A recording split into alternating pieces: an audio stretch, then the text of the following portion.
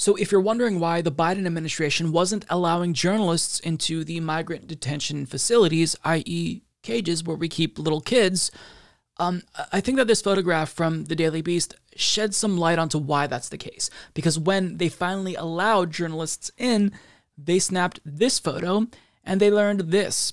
As Martha Mercer of the Daily Beast reports, 500 migrant kids crammed into plastic pods meant for 32 people. So before I get to the article, let's just stop and reflect on this. We're in the middle of a pandemic, and this is happening. There's absolutely no justification for this.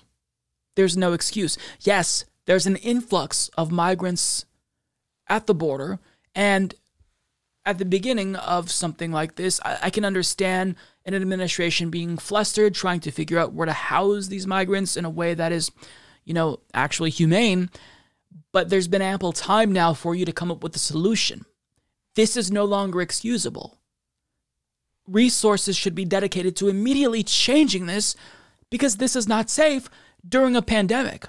Now, as the Daily Beast reports, journalists were allowed in for the first time Tuesday to see the U.S. Customs and Border Protection's biggest facility for unaccompanied migrant children and returned with shocking details. Kids with foil blankets sat shoulder to shoulder inside plastic pods. Each pod was made to house 32 people, but held more than 500 kids, all wearing masks but not tested for COVID 19 unless symptomatic, the AP reports. Younger kids are held in walled playpens. In all, the tent facility in Donna, Texas, which opened February 9th, now holds more than 4,100 migrants, though under the CDC pandemic guidelines, it should have no more than 250 people.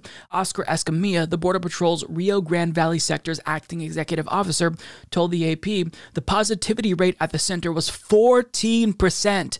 The kids are supposed to stay no more than three days at the facility, but a Department of Health and Human Services backlog meant they're held much longer, with hundreds more unaccompanied migrant minors crossing the border each day. So this is unacceptable. This is unjustifiable. This is an emergency. A lot of these minors that come here, they actually have family in the United States. So while you process them, perhaps you can allow them to reach out to family members and stay with them.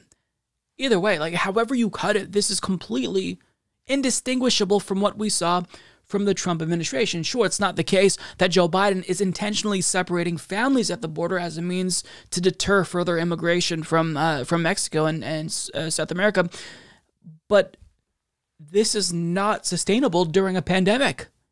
It's still, even if it weren't a pandemic currently, how is this justifiable? Where we have them sleeping in cages? Do we not have a more long term solution? Are we always scrambling when it comes to these issues? It's just, it's not acceptable.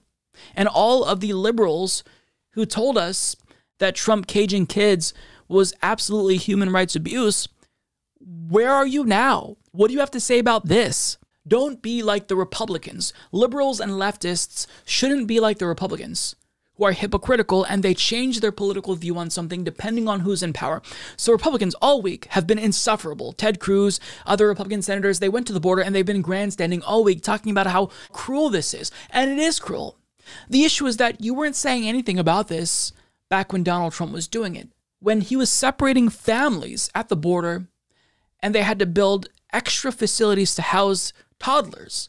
You didn't say anything, but now that Biden is president, all of a sudden, you're feigning outrage? It is outrageous.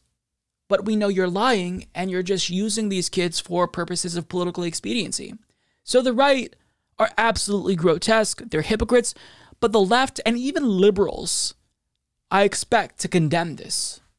Yes, this is a very complex situation there's a lot of nuances, and this is an issue that is difficult. If there is an influx in minors at the border, unaccompanied minors at the border, to be clear, then you have to figure out a way to house them. We don't turn them away, but we house them.